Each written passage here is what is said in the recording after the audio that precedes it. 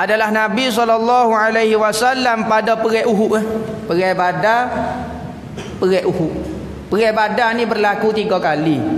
Badar hok paling hok besar sekali, badar hok tengah. Badar mula-mula, badar pertengah eh, badar akhir. Badar hok paling hok besar sekali, badar hok tengah.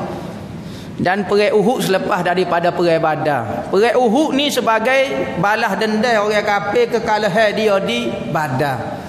Rasulullah pergi perang dengan perang Badar ni bukan nak pergi perang asalnya. Rasulullah apabila berpindah, Rasulullah sahabat-sahabat berpindah daripada Mekah ke Madinah, maka sahabat-sahabat tinggal semua harta dia di Mekah. Apabila berpindah di Madinah, baju selah ya bawa.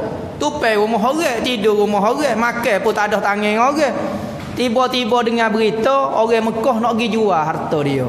Sahabat-sahabat dengar rumah dia nak kena lelong ke orang kafir habisnya pakat kerja. Buka pintu apa semua jual barang-barang tanah habis semua. Ha sudah.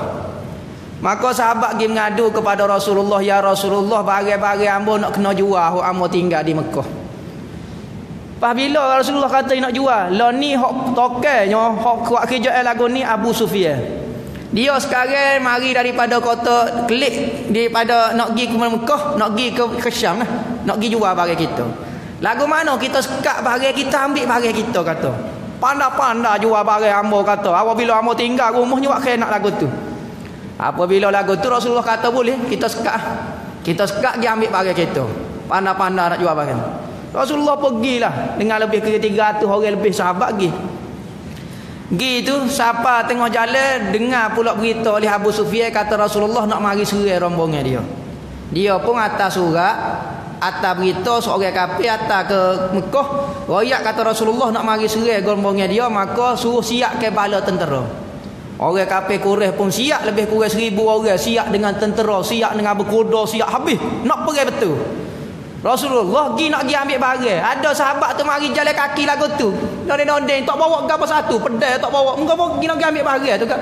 Dua tiga bilah ya bawa pedai, hak lain bawa putu kayu, hak lolok tukak takut letih saja.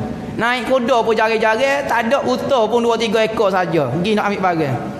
Apabila lagu tu siapa Rasulullah di Badar, Abu Sufyan tahu dah rancangnya Rasulullah nak sekat di Badar, Abu Sufyan tak ikut jalan lain. Ah sudah.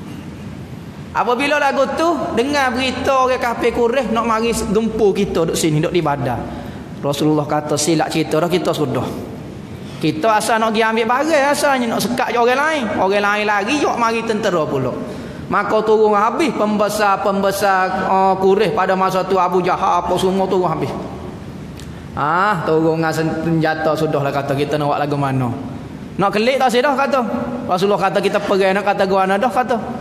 Akhir sekali Rasulullah munajak lah munajak munajak. Siapa Sayyidina Abu Bakar kata bola Rasulullah jatuh seketika ni. Kain-kain sembah Rasulullah. Rasulullah hakkat tinggi sangat jatuh kain sembah Rasulullah.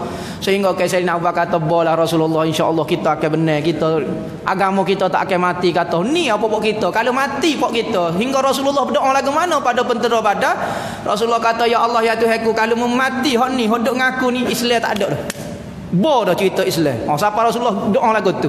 Kalau memati hok ni, hok 313 ni, oh tak ada dah cerita Islam. Habis dah cerita kita. Habis dah cerita kita. Siapa Rasulullah doa gitu maka Allah Taala beri ilham kepada Rasulullah kita akan benar dan Rasulullah tunjuk setiap-setiap orang hok ni mati sini hok ni mati sini pada perang badar mati sungguh lagu tu. Dan benar sahabat. Apabila lagu tu saya di uh, orang kafir Quraisy ni malu sangat.